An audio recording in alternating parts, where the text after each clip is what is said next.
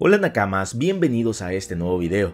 En esta ocasión les traigo el spoiler completo del capítulo 1107 del manga de One Piece, un verdadero capitulazo. Viene cortesía de Redon de Pirate King quien nos comparte su resumen de todo lo sucedido en este capítulo. Comenzaremos diciendo que Redon menciona que el capítulo tiene 17 páginas y que se titula Te he estado buscando tenemos una petición de un lector en la portada. Low y Beppo están durmiendo una siesta junto a un leopardo de las nieves en una montaña. El capítulo empieza donde terminó el anterior. En una impresionante página doble vemos a los piratas gigantes en todo su esplendor. Oimo y Carce están junto a Dory y Broggy. También vemos que hay otros gigantes. Todos están destruyendo los buques de guerra de la marina. Usopp llora de alegría mientras ve a Dory y Broggy por unos prismáticos. Sigue junto a Nami, Chopper y Robin. También vemos una viñeta que resume los eventos del arco de Little Garden. Usopp dice, pensé que nunca los llegaría a ver en Elbaf. El Tao Sansani está a punto de caerse por un acantilado. Jinbe sigue volando de camino a donde está Zoro. Zoro y Lushi siguen luchando. Lushi se burla de Zoro, diciéndole que va a arrastrar a todos sus compañeros al desastre, ya que no pueden marcharse de la isla de Egghead sin él. Pasamos al vicealmirante Red King, el tipo con varias papadas. Su nombre se basa en un kaiju que apareció en una serie de TV japonesa de Ultraman. Unos 30 barcos de nivel pequeño y mediano ya han sido hundidos, Así que Red King ordena a todos los barcos más pequeños que se queden atrás. Los buques de guerra más grandes se acercarán a Egghead y dispararán a los pacifistas. Pasamos a Luffy y Bonnie. Bonnie está llorando. Así que Luffy le pregunta por qué llora. Bonnie dice, te he estado buscando, Nika. Luffy dice, ¿por qué? Si he estado aquí contigo todo el tiempo. Por cierto, ¿qué es un Nika? Luffy se da cuenta de que Vegapunk está herido y mira furioso a Saturn. Luffy dice, ¿cómo te atreves a herir a mi amigo? Luffy le dice a Bonnie que vio su ataque, pero que era súper débil. Bonnie le pide a Luffy que le enseñe un verdadero puñetazo de Nika. Saturn ataca a Luffy con sus poderes, solo con su mirada. La cabeza de Luffy vuela hacia atrás, pero aguanta el ataque. Luffy dice, Bonnie, voy a enseñarte cómo se hace. Gomu Gomu no Down Gatling. Goma Goma, metralladora amanecer. Down usa el kanji de blanco.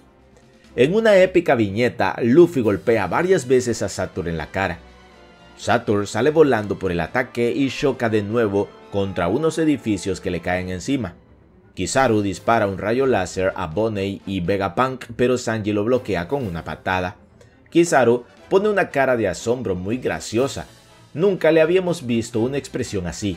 Frankie pone cara de en él. Frankie dice, no puedo creerlo. ¿No era eso un rayo láser? Sanji dice, el amor es más brillante que la luz. Kizaru dice, si las cosas funcionan así, entonces no necesitaríamos la física. Frankie, Bonnie, Kuma y Atlas son los primeros que se marchan volando hacia la costa. Vegapunk se niega a moverse ya que sabe por sus conocimientos en medicina que si lo mueven ahora morirá. Sanji y Luffy se quedan para bloquear el paso a Kizaru. Pasamos de nuevo a Saturn, vemos que está saliendo de entre los escombros. De repente, unas personas aparecen ante él. Son Katerina Devon y Van Augur.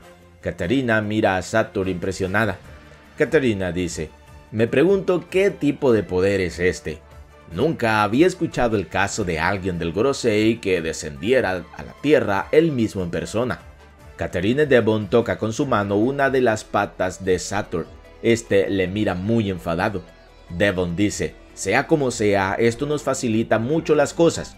Misión cumplida. Saturn dice, ¿por qué están aquí? Catherine Devon nunca hubiera imaginado que los temibles criminales del nivel 6 se pudieran someter ante alguien. Catherine Devon dice, es que Tish es especial. Saturn dice, también lo es su linaje. Catherine Devon dice, oh, ¿ya lo sabías? Saturn dice, su banda ha estado realizando muchas acciones extrañas últimamente. ¿Cuál es exactamente su objetivo? Catherine, Devon y Van Augur dicen al unísono, el mundo. Saturn les ataca, pero Van Augur se teletransporta a sí mismo y a Devon lejos de la zona. Catherine Devon y Van Augur se están preparando para marcharse de Egghead en su barco, pero de repente Caribou aparece ante ellos. Caribou llora de alegría. Tiene una actitud parecida a la de Bartolomeo cuando está cerca de Luffy. Además tiene una petición especial para ellos. Caribou dice, por favor, permítanme conocer a Kurohige solo una vez. Es mi ídolo. Quiero trabajar para él. Me convertí en pirata gracias a él. Fin del capítulo.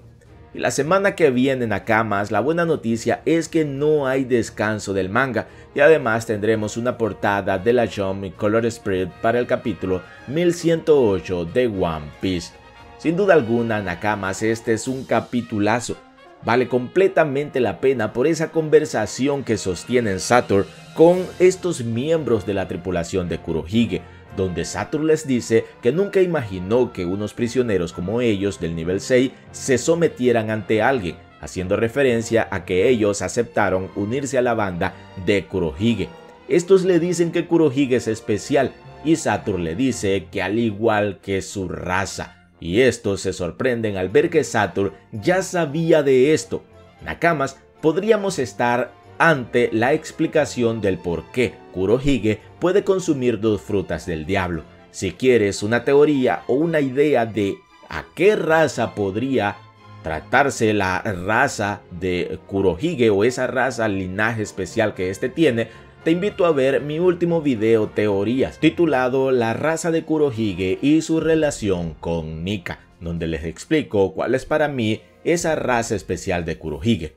Nakamas, ¿qué les ha parecido este video, estos spoilers de lo que sucederá en este capítulo 1107? ¿Cuáles son tus expectativas para este capítulo? Déjamelo todo en la caja de comentarios de este video. Si el video te ha gustado, déjame un like. Eso me ayuda muchísimo a seguir creciendo.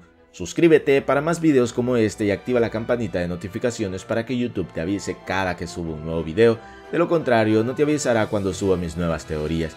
Muchísimas gracias por todo el apoyo brindado y sin más que decir, hasta la próxima.